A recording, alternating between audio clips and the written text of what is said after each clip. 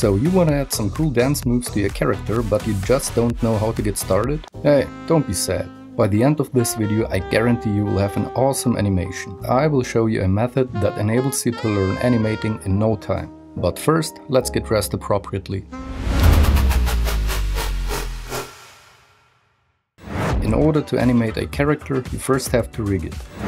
The rig or armature is something like the skeleton of your character, consisting of bones that are connected to each other or controlled by certain constraints. Bones work by binding the vertices with a certain weight that tells how they behave when the bones move.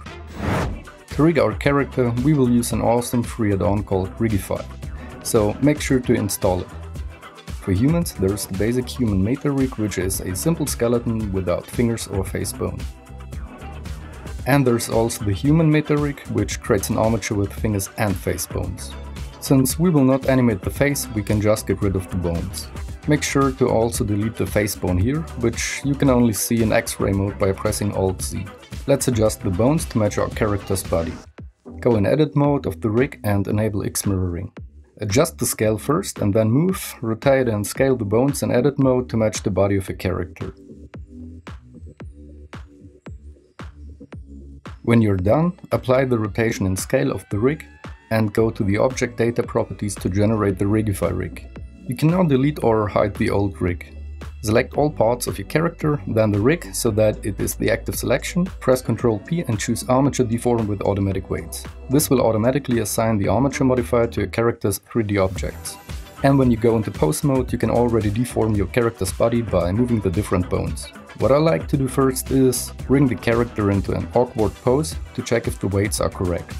You can already see there is something wrong with the cloth.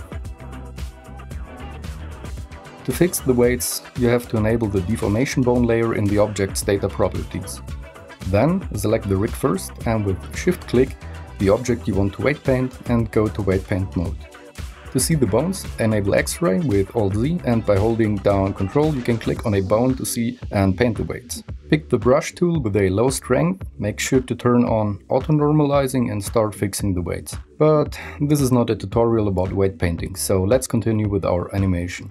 In pose mode you can enable or disable the different bone layers here or here. Let's reset our pose and fix my material.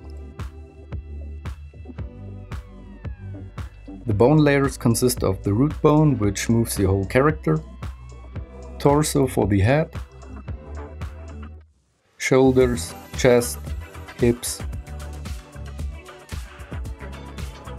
and titties. There are also different tweak layers which I barely use. Then the arms and legs with inverse kinematics or IK and forward kinematics or FK. You can enable forward kinematics for your arms and legs here. My rule of thumb for whether to use IK or FK is if something touches the ground, I use IK, otherwise FK. When using FK, the arms and legs move with the whole body, which makes animating in air easier. Alright, let's jump in the animation tab and split our window to see our character from different angles during animation. I want a view from the front and one from the side. And we will need the dope sheet to save our animation and an action in the action editor. Let's create a first motion. In pose mode, go to the first frame, select all bones, press I and insert keyframes for location, rotation and scale. Go to frame 20, create a different pose by moving the bones and insert the frames again. Adjust the end of the animation to frame 20 and press play. Usually professional animators go through following steps. Block out key poses with constant interpolation, create the poses in between, and refine the motions between the poses in the graph editor.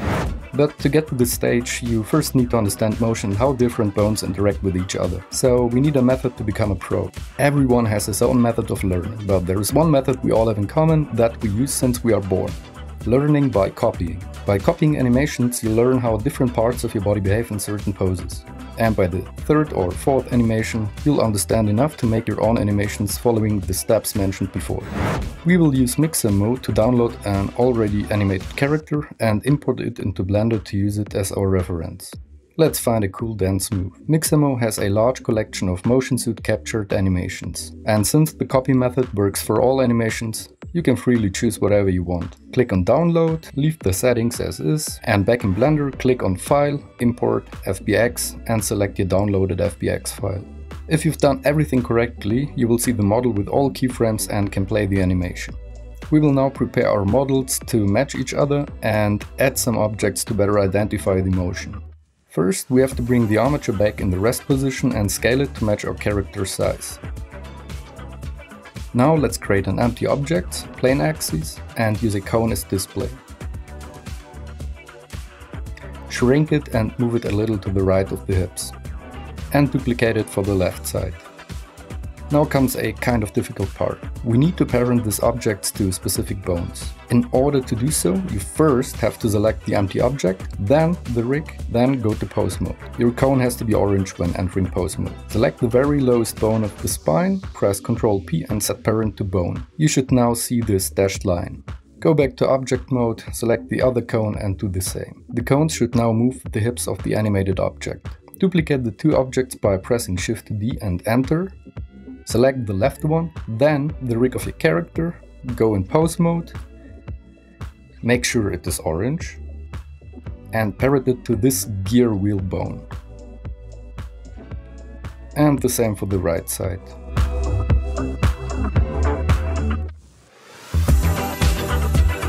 And check that ass to see if you've done everything correctly. Alright, one helper bone for the chest is left. Create another empty object and display it as an arrow. Move it to the chest and parent it to this bone of the Mixamo character. Duplicate the arrow and now when you're in pose mode of your character rig you have to go into edit mode to see the next bone. You can only see it in X-ray mode by pressing Alt Z. Select it, go back to pose mode and now you should see a circle with the name Spine FK. Parent the arrow to this bone. Alright, let's start with our poses. I will use FK for the arms and IK for the legs. Turn off all the layers you don't need and start replicating the first pose. Always start with the torso. Try to match the cones of your character to the ones of the Mixamo character. And in order to see the objects better, you can enable in front in the object properties. Let's adjust the torso. Then the legs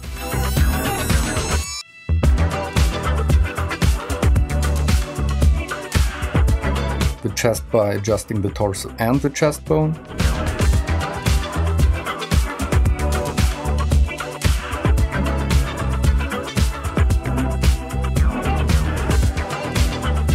And the arms.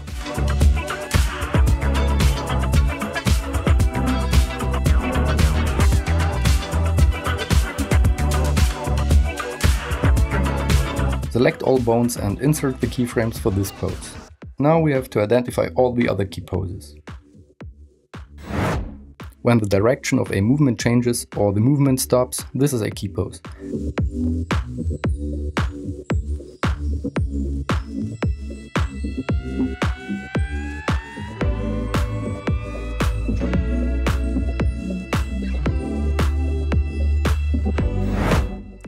So find your key poses and create keyframes. I will not bore you here and jump a little ahead. With all key poses blocked in, our animation already looks quite solid, but still a little bit clunky. So now we can start to refine it in the graph editor using motion paths. Motion paths can be calculated for every bone individually and represent the position of a bone for a certain point in time. They can help you find imperfections in your animation. When animating, the goal is to have smooth curves for most of your bones. But beware, over-smoothing the curves can cause your animation to look unreal and robotic. Let's prepare our screen for refinement and open up the graph editor. To not be distracted by the movement of different body parts, we will create masks and properties to hide certain parts. Since the motion of the torso is the most important and influences all other parts, we will first refine this bone and hide the arms and legs. To do so, let's create two custom properties on your rig with the float value and call them hide legs and hide arms. Then we have to define which vertices should be hidden create a vertex group with the name hide arms, and one called hide legs. Select the vertices of the arms and assign them to the correct vertex group. The same for the legs. You can check if you did it correct by selecting the vertex group and clicking select. Now we have to add a mask modifier to our body, select the hide arms vertex group and invert it. Go to your previously created custom properties in your rig, right click into hide arms and click on copy data path. And back in the mask modifier, right click on the real-time display modifier, add driver, select averaged value, single property, select the rig and paste the data path and apply it by clicking on update dependencies. When you change the value of custom property, you can now toggle on and off your mask. Create another mask and do the same for the legs.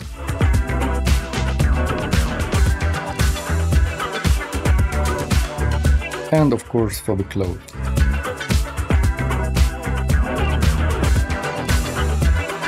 Alright, let's refine our animation.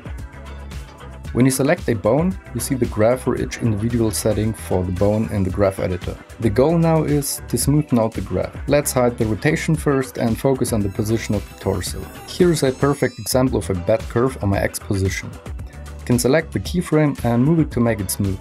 But keep in mind to always check your animation after changing a keyframe. Some keyframes might look out of place, but in combination with rotation and other bones, the position can be correct.